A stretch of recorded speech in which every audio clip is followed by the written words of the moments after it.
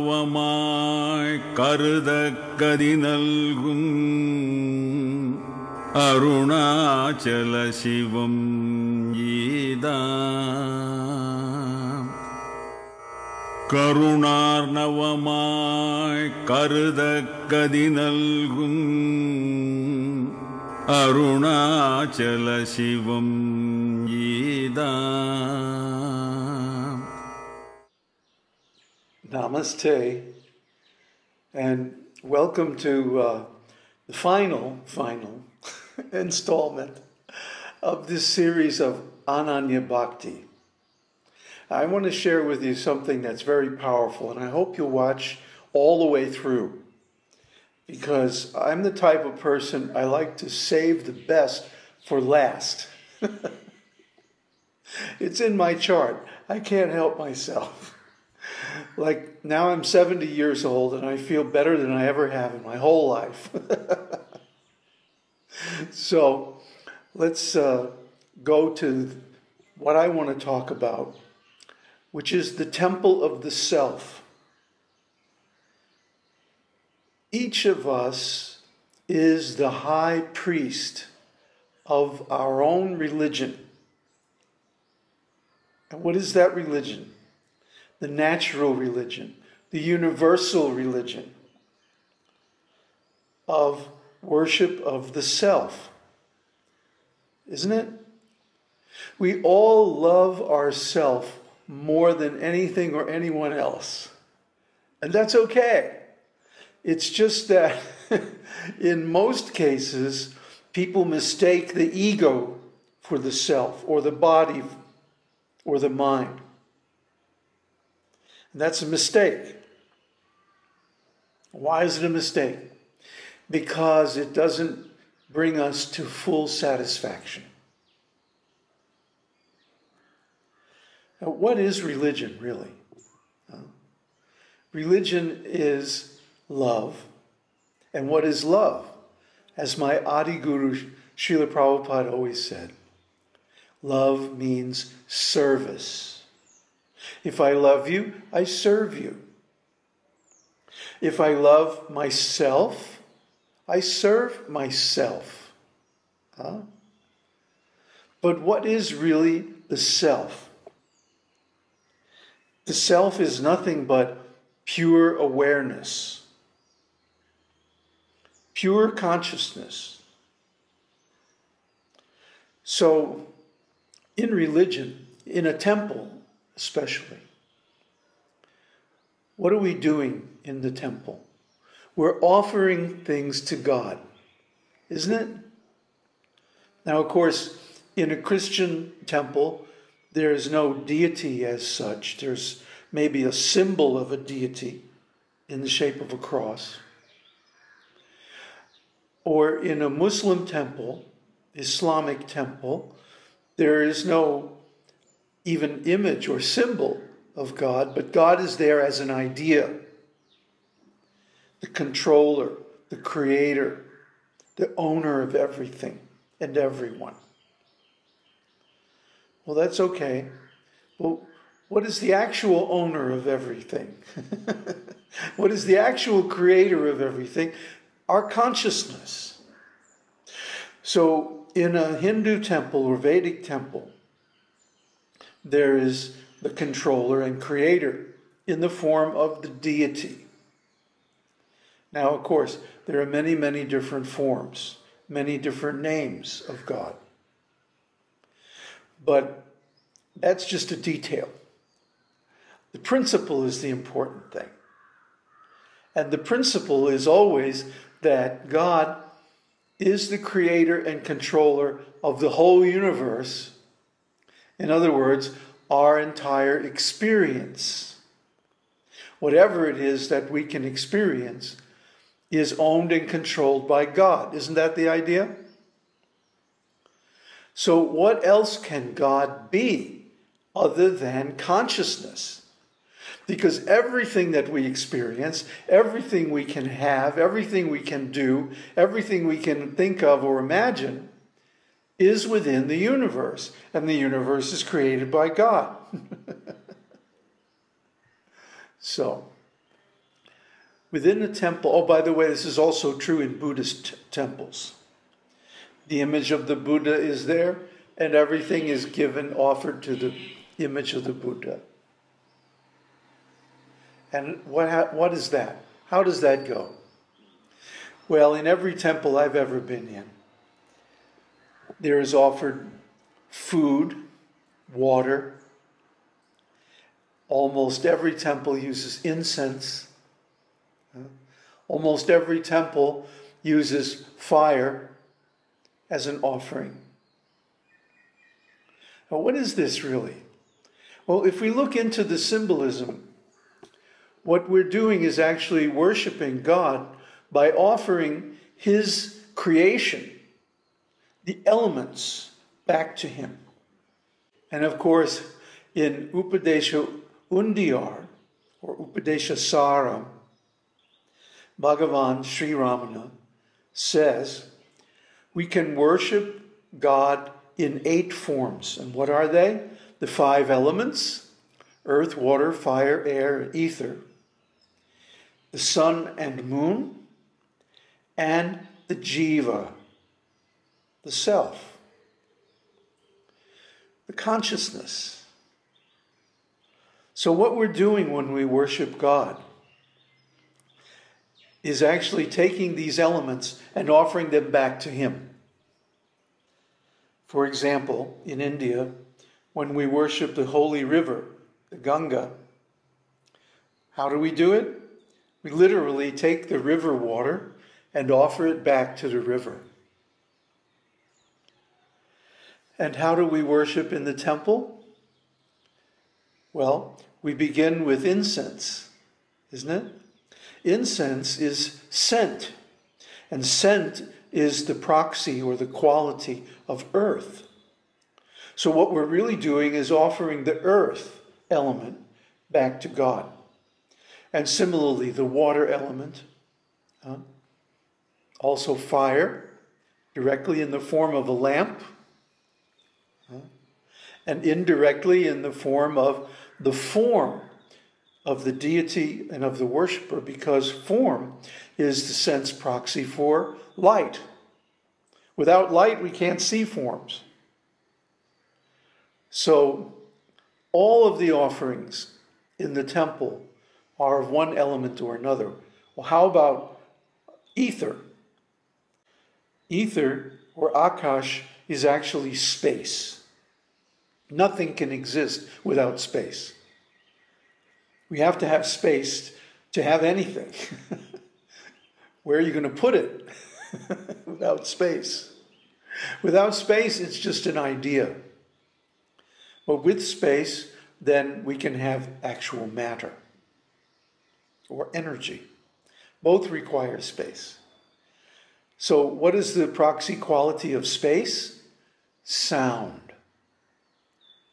So, in every temple I've ever been in, the worship is accompanied by sound vibration of some kind or other. Either a bell, uh, ringing a bell, or a conch shell, or some kind of horn that's blown in the beginning, some kind of a hymn or mantra, uh, some kind of sound vibration. So all the elements are there, all the five elements and their proxies. In fact, in Hindu temples, even air is offered in the form of a fan. Uh, so these elements are offered to God. Well, what about the sun and moon? The sun and moon are devas. They're, in other words, uh, expansions of God for controlling and regulating the material universe, the world. The sun and moon, if you study Jyotish, and astrology. The sun and moon control everything and everybody. They provide the timing signals by which all the activities and all the energies in the universe are synchronized. So the sun and moon, as devas, are another type of proxy for God. But what about the jiva? Well, in our Advaita teaching, in our philosophy, the jiva is simply a reflection of God in the limited mind and body of the individual. The example is given in the rainy season, like now, last night it just rained. And after the rain, there are innumerable little puddles everywhere, here and there. Huh? Every little footprint of a goat, even, is a puddle. And then the clouds part and the moon comes out. It's very beautiful. And in each and every puddle, there's a reflection of the same moon. It's like suddenly there are millions of moons. So, how is that? Because each of those moons is only a reflection. It's not the real thing. It's not the original. It doesn't have all the qualities of the original, but it still follows the same pattern, the same form, isn't it?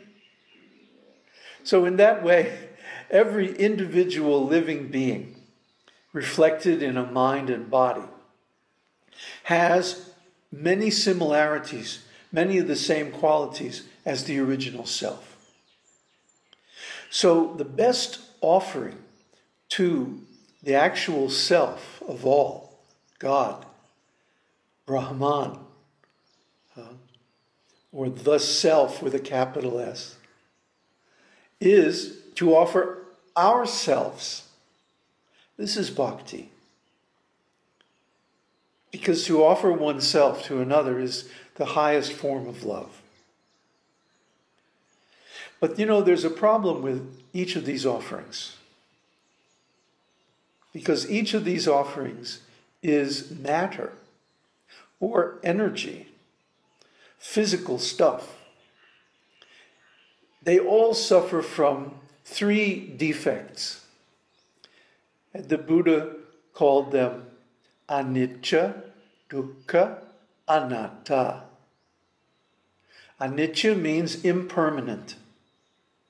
They're temporary, they come and go. They exist for some time and then they disappear. So that's not very nice. and dukkha, dukkha, besides meaning suffering, means imperfection, unsatisfactoriness. Right? And finally, anatta means not self. All these things that we can offer, including our limited body and mind, are not the self. So they aren't really satisfactory offerings. Well, what are we doing in ordinary life? Because we are actually the self. We are actually the consciousness. We are actually the absolute, just a reflection, but still, that's all we are. Just like the reflection of the moon in the puddle is nothing but the moon, but it's still only a reflection. Nevertheless, what we're doing is we are living in a temple called the body, the body and mind. And we're offering all these sense experiences. Huh? For example, light is the energy or the object of sight.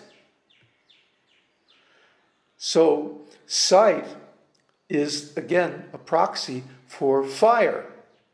Without fire, there's no light. Without light, there's no sight. so without light, without light and sight, there's no form. So, when we offer beautiful forms to our consciousness, we are making an offering of light in the temple of the self. Is it starting to come together now? When we make an offering of beautiful words or beautiful sounds, music, things like that, we're making an offer offering of akash, ether, to the deity of the self within, the consciousness. So each of us lives in a temple, and each of us is the high priest of a religion. And that religion consists of our offering the senses and their objects to the consciousness. But because all of these suffer from these same three defects uh, anicca, dukkha, anatta, temporariness or impermanence, suffering, incompleteness or unsatisfactoriness, and not self. All of these offerings fall short, and they don't give us, they don't give our God, our self, the full satisfaction. So we go on wandering throughout the world and from life to life, looking for this satisfaction which remains elusive. Why? Because we're not really offering the proper thing to our God, to our deity, to our self. What is the proper offering for the self? The proper offering for the self. The only one which is not covered by these three defects, which is permanent, which is fully satisfactory, and which is the self, is the self itself. Once you think of it, it's totally obvious, right? I discovered this by accident one day, sitting in the park in Mexico City, and just thinking, what a wonderful, what a marvelous, what an inconceivably wonderful thing is this consciousness. Consciousness is completely transcendent. There's nothing, in no way, to describe it. It's completely without qualities, yet it can reflect and perceive all qualities. It's completely without existence, and yet without it, nothing else can exist. And so on and so on. I was just thinking how, how amazing, how wonderful this is. And I was becoming more and more blissful. And I thought about this for a long time. And I went and I studied and I tried to understand what it was. And it took me a long time. Duh. because it's actually, once you think of it, completely obvious that the perfect offering for God, the self, consciousness, is consciousness itself, the self itself. And so when we read or hear about the self awareness being called I, I. This is another meaning.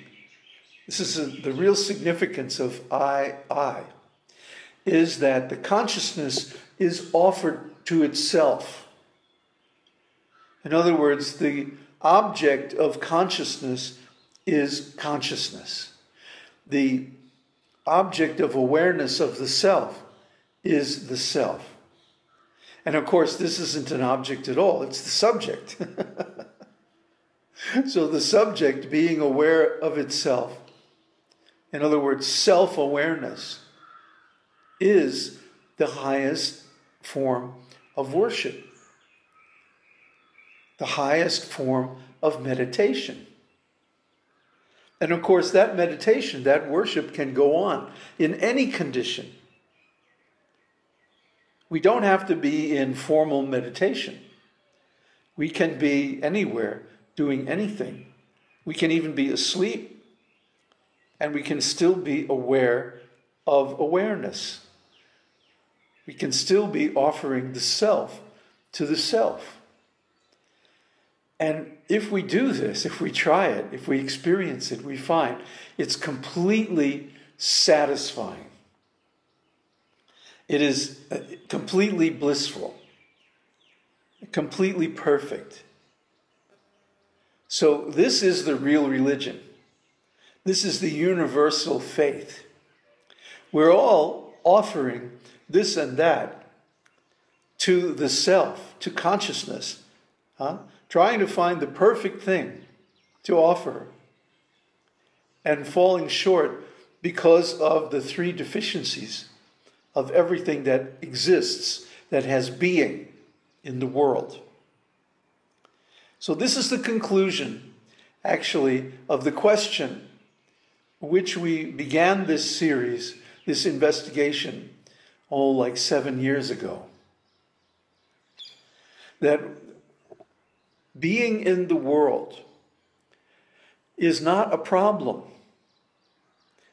There's no suffering involved in it at all, provided we're in this consciousness of offering the self to itself. And whenever we encounter an object of the senses, realizing that the consciousness that is aware of this object is perfect, and offering that consciousness back to itself. And this is the ultimate state. This is enlightenment. This is self realization. ஓம் தத் சத் ஓம் ஹரிஹி ஆம் கருணார்ணவமாய் கருத கதி நல்கும் அருணாச்சல சிவம் ஈதா